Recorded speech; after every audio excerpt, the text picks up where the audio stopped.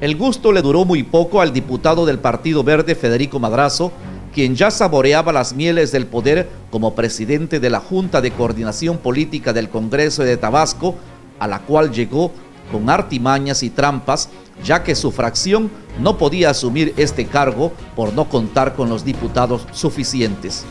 Pero existen medios para cambiar el orden de las cosas. Convenció a dos diputados de otros partidos, Patricia Hernández Calderón y José Atila Morales, sumándolos a su fracción y así elevaron su representación. Pero la alegría fue solamente flor de un día.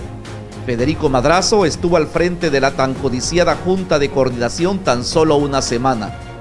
El Tribunal Electoral lo paró en seco y de inmediato lo destronó, quedando este órgano colegiado nuevamente en quien lo venía representando, la fracción del Partido de la Revolución Democrática.